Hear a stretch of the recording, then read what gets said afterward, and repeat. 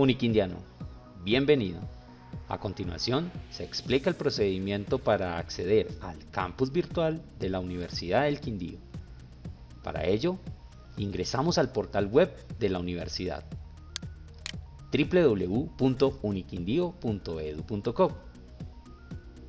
Luego de ingresar al portal web de la Universidad del Quindío, nos ubicamos en la esquina superior derecha de la pantalla para dar clic en el siguiente botón. Campus Virtual.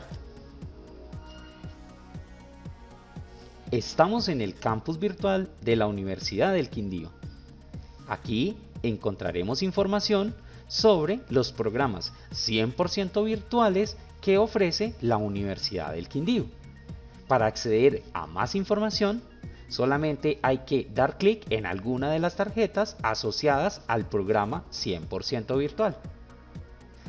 Si usted pertenece a alguno de los programas académicos de la modalidad presencial o distancia, puede consultar la siguiente información. En esta sección encontrará recursos educativos digitales de uso docente. En esta sección encontrará recursos educativos digitales para uso de los estudiantes. En la sección Eventos y actividades encontraremos cursos, talleres, charlas y diplomados ofertados desde la estrategia virtual institucional. En la parte inferior encontraremos información relacionada con toda la oferta de la biblioteca CRAI, toda la oferta relacionada con la unidad de aprendizaje permanente, y la oferta que tiene para nosotros el área de bienestar institucional.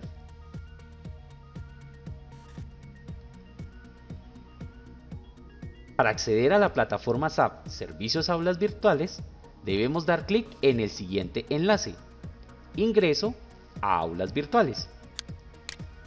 De esta manera, registraremos las credenciales de acceso a la plataforma SAP Servicios Aulas Virtuales. Para continuar, damos clic en el botón Iniciar sesión. Nos encontramos en la plataforma SAP Servicios Aulas Virtuales. Aquí podremos encontrar los siguientes elementos. En la parte superior ubicamos la cabecera de la plataforma. Allí podremos identificar el usuario que se ha conectado, el acceso a la mensajería interna de la plataforma, consultar las notificaciones del sitio o acceder a otros enlaces de interés.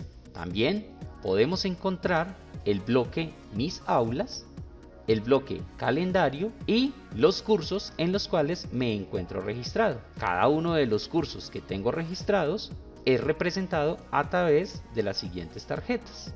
Encontramos en la parte inferior el pie de página de la plataforma. Aquí encontraremos información de interés relacionada con la Universidad del Quindío. Por último, encontraremos el botón de acceso al centro de servicio al usuario.